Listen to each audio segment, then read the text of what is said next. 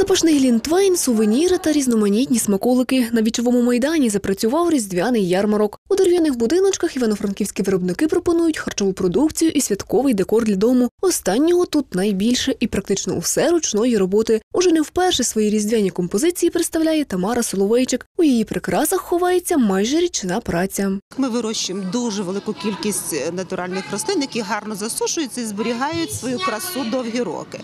І використовуючи їх, а також багато ну, іншого матеріалу, е, робимо е, новорічно-різдвяні композиції. Найбільше каже Тамара Соловейчик, люди купляють ось ці дерева з лікарських рослин. В кожної композиції своє значення. Таке дерево або топіарі, якщо його називають, є символом росту і процвітання. Навіть дехто називає його деревом щастя, там різні толкування є.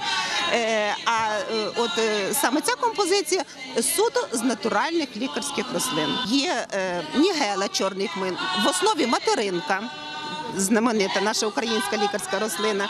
Також використовуємо льон, ехінацею лікарську. Ми вирощуємо більше ста видів рослин. Є на ярмарку і різноманітні прикраси на ялинку з ниток, тканин і дерев'яні. Продавці кажуть, всі виготовлені з екологічних матеріалів. Ці всі вироби вони є екологічними. Це стопроцентна ручна робота від самого нуля, з самого початку процесу виготовляється руками із екопродуктів. Ну, якщо так взяти, наприклад, одну підвіску, то спочатку так вона вирізається, шліфується, потім фарбується. Е, Для самого початку створюється комп'ютерний макет, тому що це комп'ютерна різка.